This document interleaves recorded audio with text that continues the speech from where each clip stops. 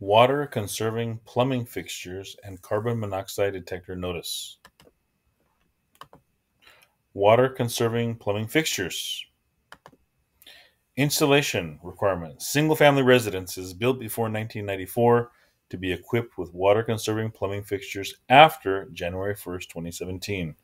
And multifamily commercial properties built before 1994 to be equipped with water conserving plumbing fixtures after 1 1 19. Disclosure Although the installation of water conserving plumbing fixtures is not a point of sale requirement, the California Civil Code require the seller to disclose to the buyer the requirements and whether the property contains any non-compliant water fixtures. Non-compliant water fixtures. Buyer and seller are each advised to consult with their own home inspector or contractor to determine if any water fixture is non-compliant. Carbon monoxide detectors.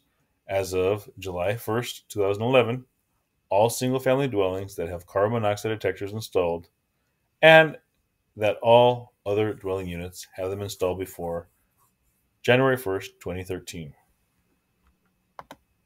Disclosure The real estate transfer disclosure statement.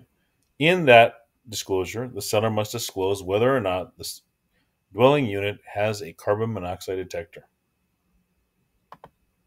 a transfer of property where a seller as an owner has not installed carbon monoxide detector will, will not be invalidated, but the seller owner could be liable for a fine of up to $100 plus court costs and attorney fees.